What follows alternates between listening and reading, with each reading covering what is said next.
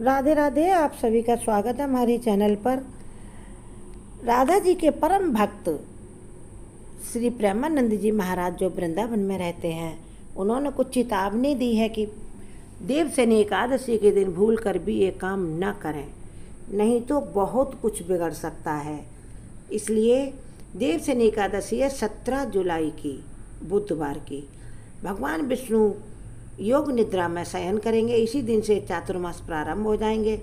चातुर्मास में विवाह विवाह, मुंडन, गृह प्रवेश जैसे मांगलिक कार्यों पर रोक लग जाती है। धर्म ग्रंथों के अनुसार आषाढ़ माह के शुक्ल पक्ष की देवशयनी एकादशी का व्रत विष्णु जी की कृपा प्राप्त करने के लिए उत्तम फलदायी माना गया है। श्री महाराज जी के अनुसार एकादशी के दिन अन्न खाना वर्जित होना चाहिए। किसी को भी अन्न खाना ही नहीं चाहिए। यदि कोई मजबूरी है, बीमार है तो एक भुक्त रहकर, यानी एक बार शाम को भोजन कर लें तो भी चलेगा। लेकिन आगे बताते हैं महाराज जी कि इस दिन कुछ ऐसे काम है जो भूल कर भी नहीं करने चाहिए। नहीं तो दाम्पत्य जीवन में, घर परिवार में तनाव आने लगता है, क्लेश होने लगता है, साथ ही करियर तथा व्यापार में भी बाधाएँ उत्पन्न होने लगती हैं। आइए जानते हैं महाराज जी के अनुसार देवसैनी एकादशी व्रत के नियम क्या हैं? क्या भूल कर भी नहीं करना? कुछ लाभ भी बताए हैं महाराज जी ने और कुछ उपाय। ध्यान से सुनिए, आगे बढ़ने से पहले। माता लक्ष्मी की कृपा चाहने वाले भक्त राधा रानी के भक्त चैनल ज़रूर सब्सक्राइब करें और कमेंट बॉक्स में जय जय श्री राधे श्याम अवश्य लिखें। ओम नमो भगवते वासुदेवाय लिखें। भगवान लक्ष्मी और विष्णु की कृपा आप सब पर बनी रहेगी। चैनल ज़रूर सब्सक्राइब करें, वीडियो लाइक और शेयर करें तथा कमेंट बॉक्स में कमेंट भी ज़रूर लिखें। सबसे पहले लाभ जान लीजिए, फिर आपको बताते हैं क्या नहीं करना है। देव शनि एकादशी के अपार लाभ हैं। एकादशी का व्रत मन को स्थिर करने के लिए और जीवन को सुखी बनाने के लिए किया जाता है। देवसेनी एकादशी के व्रत से सात जन्मों के पाप धुल जाते और मृत्यु के बाद मोक्ष मिलता है।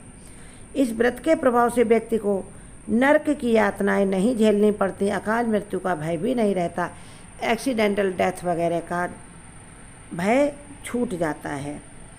इस व्रत के प्रभाव से रिद्धियाँ सिद्धियाँ भगवान लक्ष्मी की कृपा से देते हैं, तथा घर में सुख समृद्धि छा जाती है। हर सदस्य बहुत ही मन लगाकर अपना काम करता सभी ड्यूटीफुल हो जाते हैं।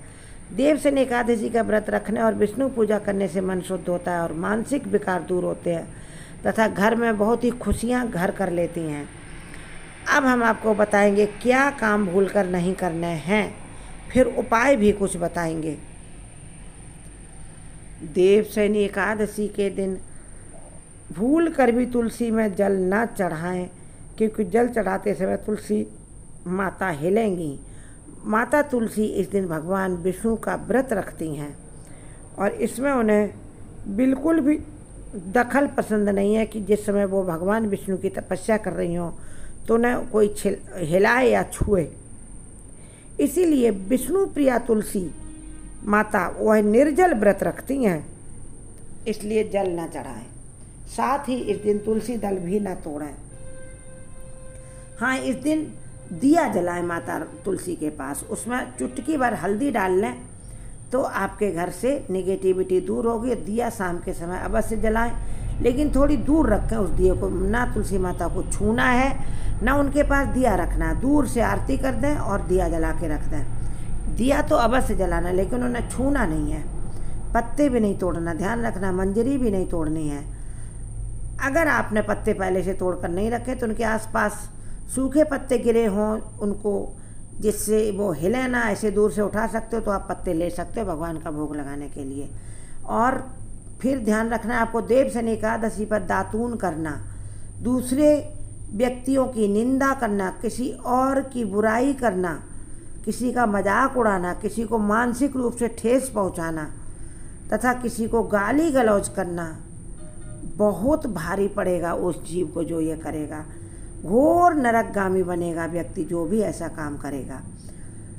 इसलिए बड़े सजग सब, संभल कर रहें और हरिनाम जाप करते रहे, राधे श्याम राधे श्याम, सीताराम सीताराम।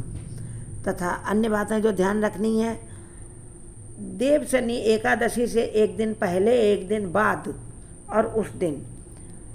संभोग नहीं करना पति पत्नी को। भले आप पति पत्नी आपको वो सर्टिफिकेट मिला हुआ इस चीज़ का, लेकिन ये तीन दिन बचा के रखें आप। इससे भगवान विष्णु माता लक्ष्मी की परम कृपा प्राप्त होगी। और इस दिन एकादशी का व्रत दसवीं तिथि से शुरू हो जाता है। ऐसे में दसवीं तिथि से द्वादशी तक ब्रह्मचरी का पालन करें। वही चीज़ है, स्त्री प्रसंग ना करें, संभोग ना करें।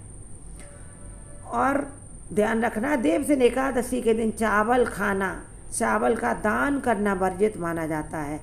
ऐसा करने पर अगले जन्म में कीड़े मकोड़े की योनि में जन्म लेना होता है। पारण के समय द्वादशी के रहने पर आप चावल दान भी कर सकते हैं। चावल आप खिचड़ी बनाकर दान कर सकते हैं, चावल दान कर सकते हैं दाल के साथ और किसी को खिला सकते हैं खिचड़ी, चावल खा सकते हैं। लेकिन एकादशी के दिन इनसे दूर रहें। इसके बाद एक खास बात याद रखनी, महाराज जी ने बताई है कि हो सके तो दसवीं के दिन एक बार भोजन करें, रात का भोजन त्याग दें। और एकादशी के दिन जो भी खाएँ, बहुत ज़्यादा भरपेट ना खाएँ। तथा तीन दिन घर में प्याज, लहसुन नहीं पकना चाहिए बिल्कुल। जो व्रती है उसको तो छूना भी नहीं है, लेकिन जो व्रती नहीं है उस परिवार में जिसमें किसी ने व्रत रखा है, लेकिन कुछ अन्य लोगों ने व्रत नहीं रखा, प्याज, लहसुन का भोजन वर्जित है। उस दिन प्याज लहसुन नहीं पकना चाहिए, न व्रती का भी व्रत खंडित माना जाता है। पूरा ध्यान रखें इस बात का। देव सिंह एकादशी में तन के साथ मन की शुद्धता भी रखें, दिन में सोए नहीं, और रात में कम से कम बारह एक बजे तक जगह हरे भजन करें। श्रीमन नारायण जपें, राधे राधे श्याम जपें, सीता सीता राम जपें या कीर्तन करें। अथवा आप रामायण, भागवत, गीता कुछ भी पठन पाठन करें, लेकिन सोए ना दिन में और रात को कम से कम बारह बजे तक। इतना अगर आपने कर लिया तो भगवान विष्णु की महान कृपा आप पर होगी। महाराज जी कहते हैं कि भगवान तो अहेतु की कृपा करने वाले तैयार ही रहते हैं कि कौन भक्त हमें मन से बुला रहा है, कौन सनातनी पद्धति से हमें बुला रहा है उसके घर पर चलें। कमेंट बॉक्स में जय श्री राधे श्याम लिखें, चैनल सब्सक्राइब